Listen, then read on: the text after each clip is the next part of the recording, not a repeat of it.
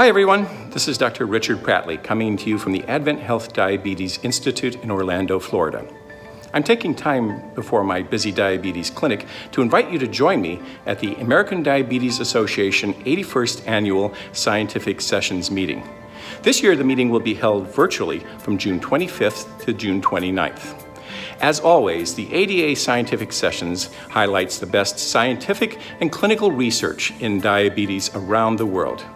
Highlights from this year will include a discussion of COVID 19 and diabetes, as well as late breaking clinical trials, including the Amplitude O trial. This study, which I was privileged to be part of, is the latest GLP 1 receptor agonist CVOT to report out results. For more information on the meeting, please visit scientificsessions.diabetes.org. I look forward to seeing you at the meeting.